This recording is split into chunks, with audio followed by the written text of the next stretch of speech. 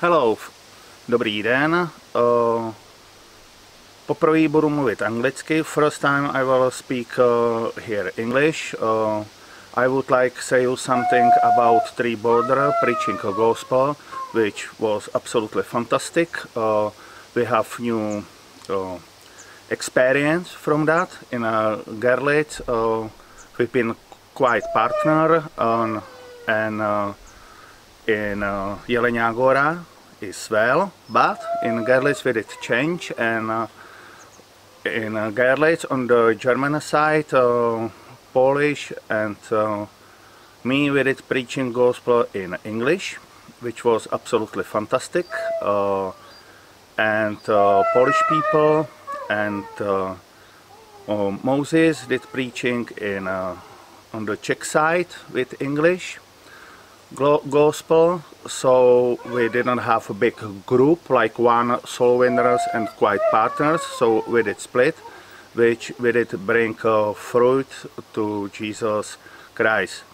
Uh, that was absolutely fantastic and uh, i i really did enjoying and uh, i looking for uh, uh, doing three border preaching gospel again so i would like say hello to my brothers and uh, sisters which did preaching with me. And uh, i can't showing uh, any pictures from that because was really dangerous on the website uh, queer.de uh, there did want making uh, uh, sodomized it want uh, shoot down or preaching gospel. So from uh, from a security side I can't show any pictures and I don't have any permission from my brothers and sisters so I will not show any pictures.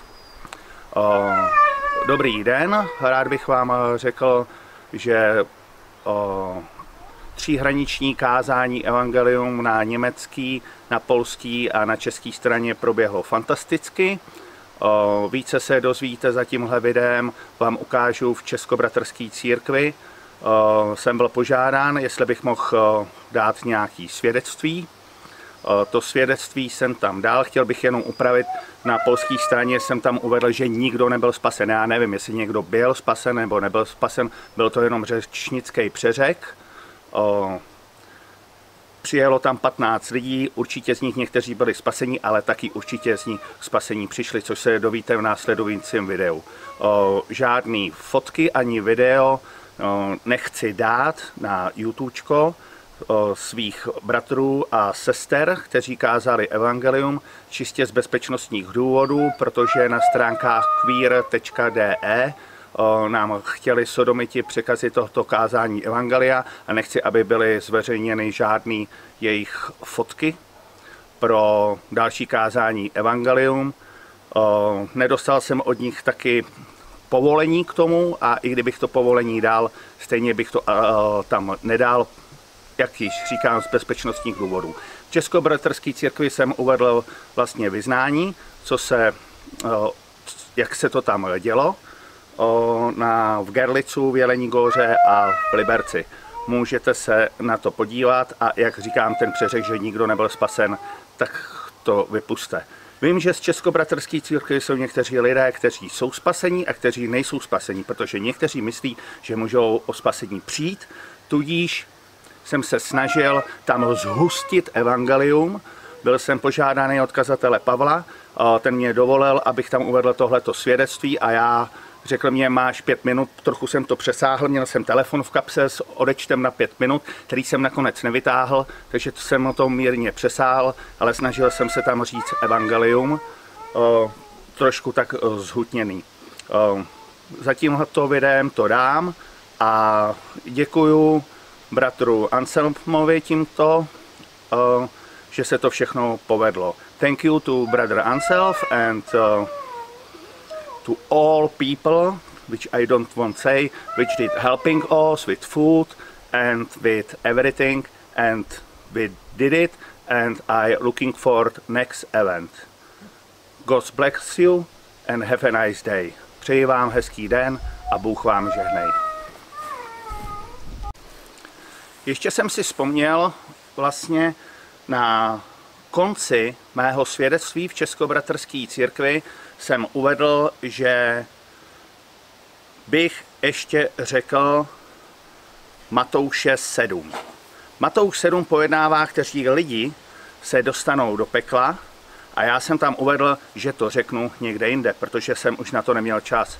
A proto, aby jste se i dozvěděli, eh, co říká Matouše 7 a jak se to vykládá, protože Jakuba 2 jsem tam uvedl, že vlastně víra bez skutku je mrtvá, ano, ta víra tam je, ale je mrtvá, protože nepřináší žádný užitek a ze začátku kapitoly Jakuba se baví ke svým bratrům v Kristu, takže se baví ke spaseným lidem, což někteří používají falešný, vlastně falešnou doktrínu a překrucují to, co v podstatě se nám snaží Bůh tím letím říct.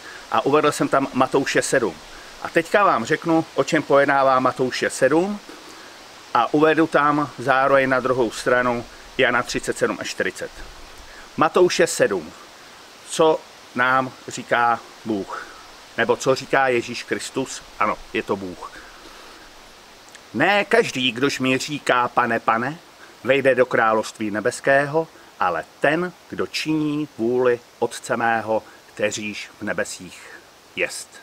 Mnozíť mi vdějí onen den, pane, pane, což pak jsme ve jménu tvém neprorokovali a ve jménu tvém ďáblu nevymítali a v tvém jménu divů mnohých nečinili a tehdy tím vyznám, nikdy jsem vás neznal, odejděte ode mě, činitelé nepravosti. Co tady říkají?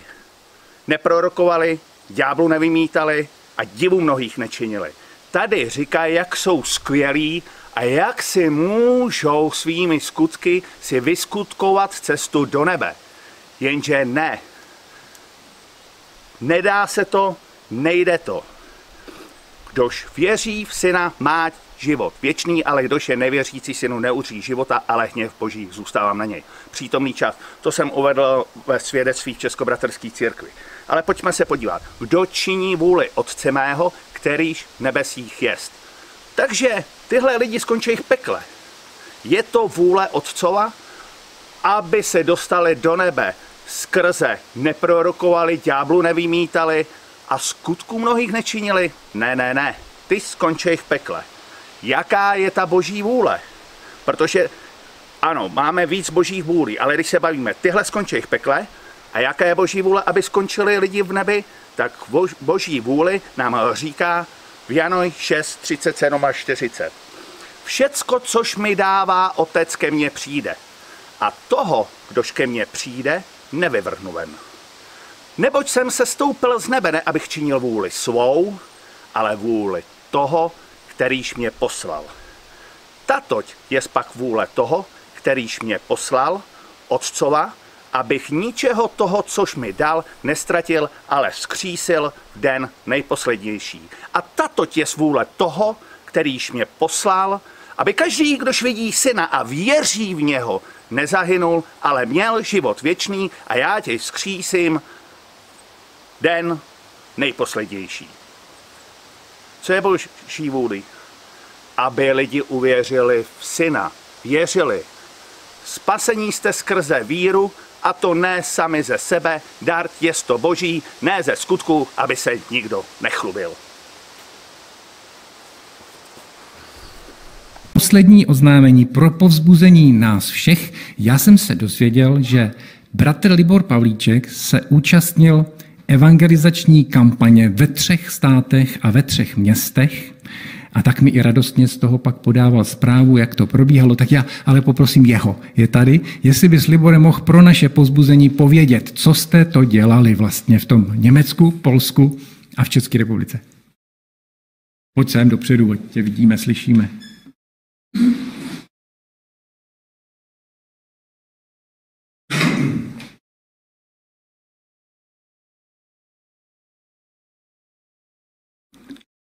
Dobrý den, hezké nedělní ráno. Eh, rád bych vám řekl, že bratr Anself z Německa, který žije teďka v Americe, tak zorganizoval kázání Evangelia ve třech státech. Bylo to v Gerlicu v Německu, bylo to v Jelení góře v Polsku a bylo to v Liberci, jak již víme na české straně.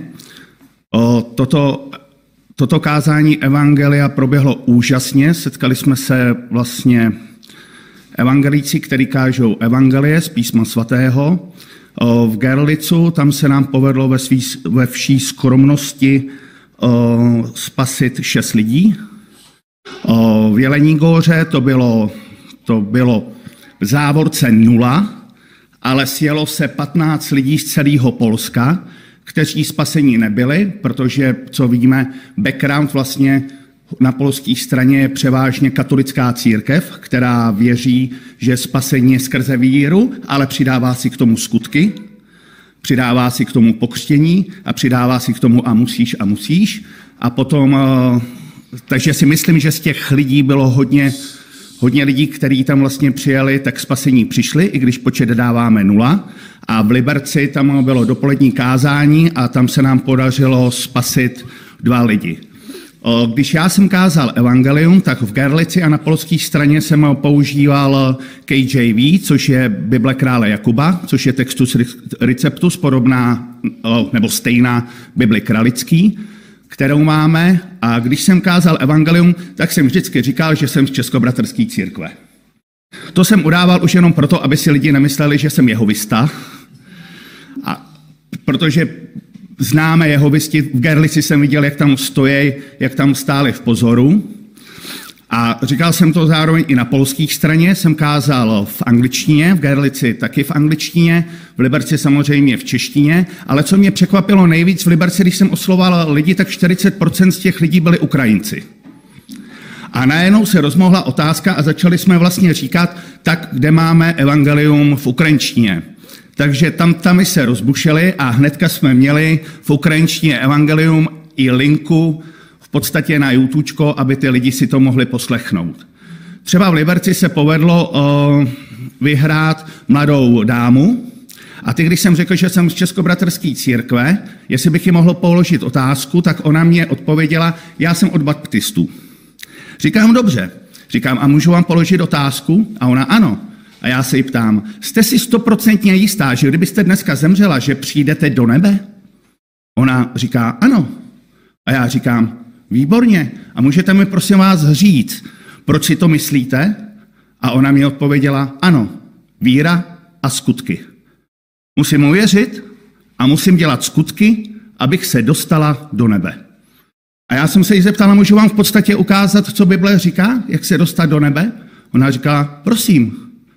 Takže jsem vlastně následoval, že není spravedlivého ani jednoho, všichni zajisté hřešili a nemají slávy boží, neboť není rozdílu Neboť psáno je, že není spravedlivého ani jedno, všichni zajisté řešili a nemají slávy boží, neboť není rozdílu.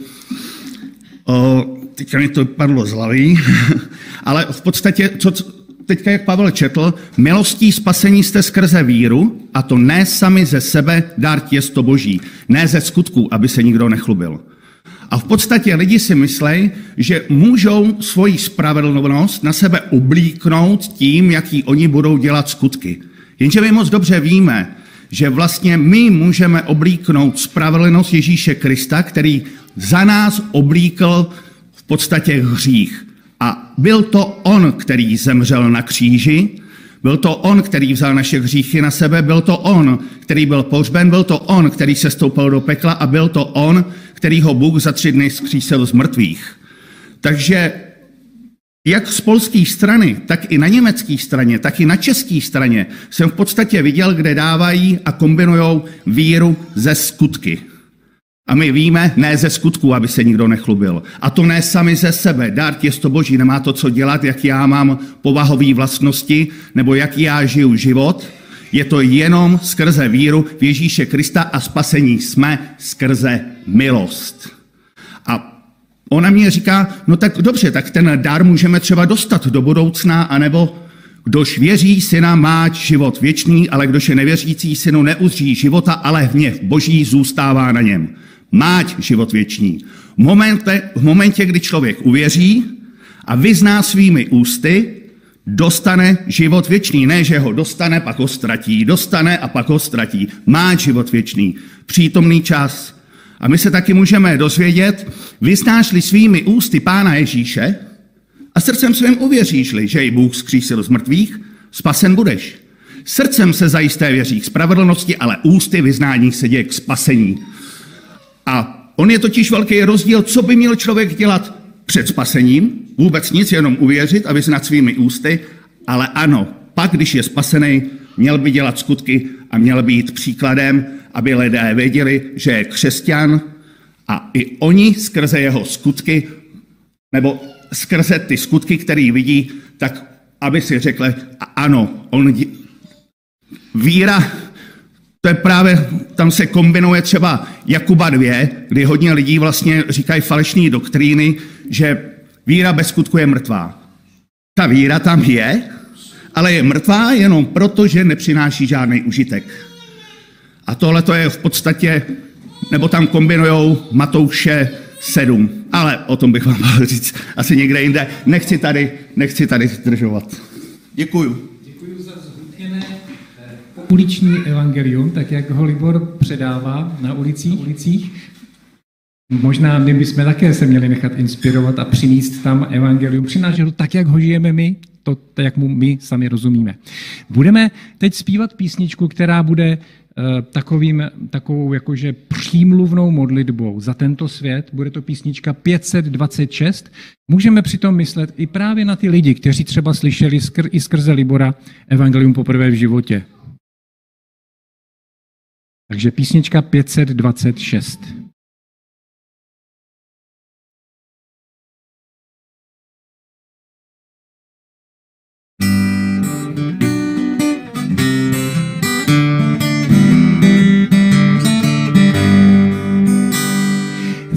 ty, kdo hladem trpí a bídou, prosíme zjev svoji slávu za ty, kteří druhými jsou odmítáni, prosíme zjev svoji slávu za ty, kdo bolest mají a pláčí, prosíme zjev svoji slávu, také za ty, kteří jsou svázáni pouty, prosíme zjev svoji slávu.